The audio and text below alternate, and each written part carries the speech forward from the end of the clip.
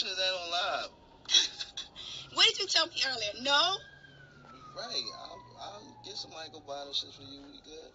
So you embarrassed? Embarrassed? No. But it just, I don't know. It's just a domesticating thing. Like, you women like doing shit like that. Yo, take out the garbage, go buy my tampons. Like, I don't want to be domesticated, yo. Especially when I'm getting money. I'll hire somebody to do that shit. I bet you I could make you get my tampons. I, I, I, I bet you, I bet you you won't. Shit. I, I fucking order them shits online.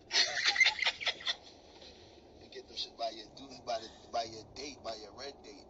I, I'm good with that. you gotta get it by the due date. Y'all hear that, ladies? Wait. So what y'all saying is, let me ask y'all a question. Uh, Amazon and shit get you a whole big ass fucking closet full. We'll never have to worry about that. So let me ask y'all a question. Would y'all men go get y'all tampons? How many ladies right now could say that their man will go get their tampons? Not this nigga. What? I said I ordered them shits. Would you go get pads?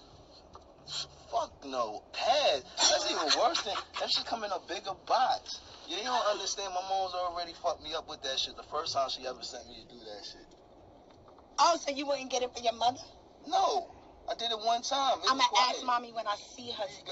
I'm about her. to ask her right now if you would go get her pads and her tampons. she should tell you. That's why I'm not doing that. And that's right. I'm not doing that, yo.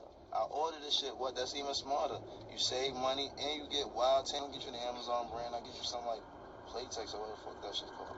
When you could just run to the store and get it? What? Why would you order it? That's some bullshit. First of all, y'all motherfucking stores are like 10 miles away from each other. It ain't like New York, like the corner store. And second of all, me running for tampons?